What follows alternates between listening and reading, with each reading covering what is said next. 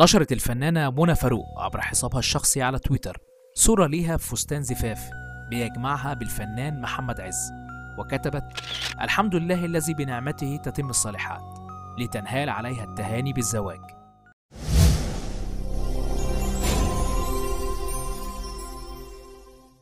كشف الفنان محمد عز عن حقيقة هذا الأمر حيث قال في تصريحات خاصة هذه الصورة من كواليس مسلسل الأب الروحي ومنى لا تمتلك أي صفحات ليها على ال social media.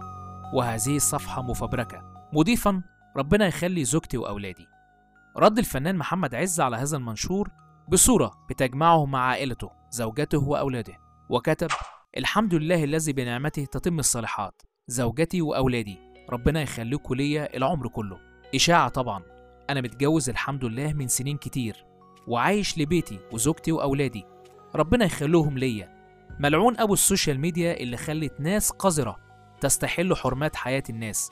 بمجرد لم شوية follow لايكات الصورة المنتشرة من كواليس مشهد الحلم في مسلسل الأب الروحي الجزء الثاني. وكان الفنان محمد عز قد حرص على مشاركة متابعيه وجمهوره منذ فترة بصورة له خلال كواليس تصوير مسلسل اختيار اللي بيقوم ببطولته النجم أمير كرارة ونشر عز صورة ليه مع كرارة. عبر حسابه على انستجرام.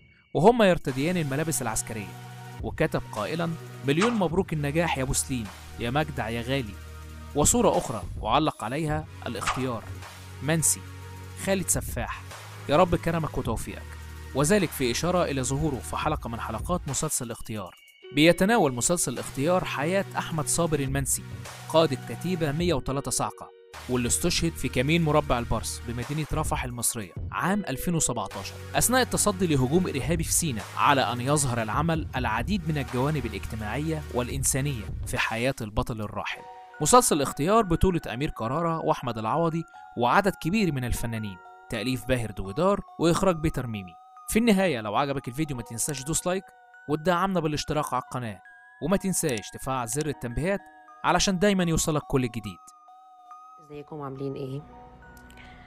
للمرة المليون. أنا ما عنديش فيسبوك وما عنديش تويتر وما عنديش تيك توك. فأي account fake مش حقيقي. بيخش يتكلم على لساني وبيتكلم في مواضيع ما تخصنيش وبيهاجم حد أو بيقول رأيه في حاجة. آه هو حاطط اسمي على الصفحة. أنا ماليش صفحات على الفيسبوك خالص. آه ده للتوضيح. وأتمنى إن أنتوا تعملوا ريبورت أو ما تصدقوش أي كلام يتقال. أنا أي كلام بقوله بقوله من صفحتي هنا على انستجرام بس ما عنديش غير الانستجرام المتوثق. شكرا. منى فاروق.